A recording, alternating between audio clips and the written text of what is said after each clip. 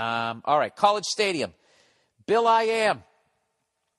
A group of my buddies and I uh, want to take a trip somewhere random and catch a good college football game. Not necessarily just the game of the team, but also a great stadium. We're all in our mid 20s and live in Florida. Been to plenty of Gators and Seminoles games. I was going to say, Jesus Christ, well, you don't have to travel. You got it right there. Uh, which college, college stadium would you suggest we make our trip to? Somewhere that serves beer during the game would be a plus, but not a requirement. Um, I don't know about. I don't know that the NCAA, any of the, the college stadiums serve beer. Um, I never noticed that they didn't at the Rose Bowl because I was so fucking shit faced that I didn't need any more alcohol. So I never. Att- I'm usually trying to buy something to absorb all the booze that I've ingested. Um, but um, I don't think that you can. That's what my friends have been telling me. We were just in College Station, and and um, they didn't sell it there. They didn't sell it at the LSU game. So, anyways, in other words, what's the best college stadium atmosphere that you've been to that you would recommend visiting?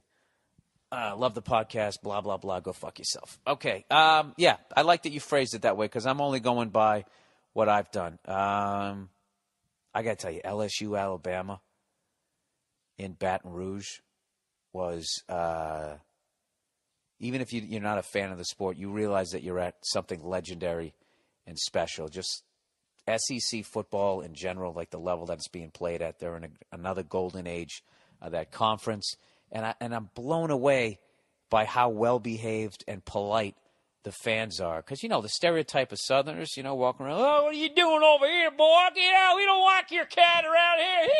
You know, it's nothing like that. It's nothing. Most of that shit is just from watching Mississippi Burning and Hollywood's version. I'm not saying that those guys don't exist. All right? It's kind of like uh, that Ray Donovan character. Like that character is supposed to represent like like everybody on the East Coast, basically the Northeast. That that's how people are. You know. You come you come near my family again, and I'll fucking kill you. You know that bullshit all the time, and like like everybody down south is fucking playing a washboard.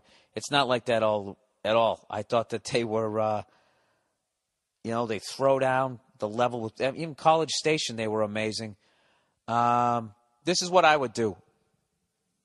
I would pick if you're a fan of any other team, going to a home game against one of their big rivals is awesome. It's it's it's fun to go to a game where you actually give a shit about the team. Um, so you kind of have a dog in the fight.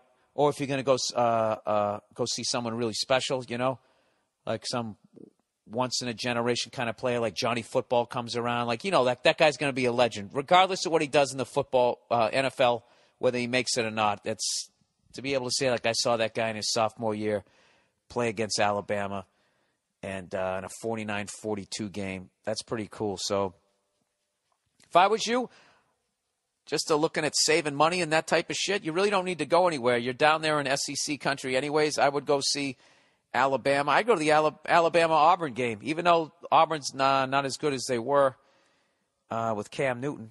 I'd go to one of those ones. For some reason, the Florida Georgia game in Jacksonville does not interest me because that it's an away game for everybody because they were worried about the behavior of people. I want to see their behavior. I like when there's one team going into a hostile uh, hostile environment. So, you know, like I saw Texas Oklahoma at the Cotton Bowl, and that was awesome, and it was great, legendary stadium to go to. But there was definitely something missing. There was no, you know, you're in our house now. Vibe was not there. Um, so I don't know. Jesus, am I fucking meandering this week or what? So I, if I was you, I would either go to Tuscaloosa, I'd go to Baton Rouge. Um, Tennessee, for some reason, looks fucking insane to me. Tennessee, I think, would be insane just because that's in just Knoxville is just the middle of fucking nowhere, and there's nothing else to do but to go absolutely ape shit at a Tennessee Volunteers game and just watch them throwing down. I'm telling you, half the fucking show is being outside the stadium and watching how hardcore these people party. Um, or and cook and all that. I mean, they don't get drunk and belligerent. Like uh, at least I haven't seen that yet. Now, there's probably a lot of people rolling their fucking eyes, but uh, you know, it seems like the violent fans are on the coasts. I don't know. Like if you're gonna get stomped or fucking stabbed or shot, especially out here in California. Um, I don't know. And if you mosey on up to somebody's smoker, all you do is throw them a couple of compliments. Next thing you know, you got something smoked sitting on a plate. They'll fucking hook you up. They're, they're great. They're great people. South get the South gets such a bad fucking reputation. And I know there's the racism and there's all that fucking shit, but unfortunately, that racism is everywhere. At least as far as my travels. So, uh, the end of the day, those fuckers cook better than they do in, up north at a football game, anyways. So there you go. There's my long-winded fucking answer.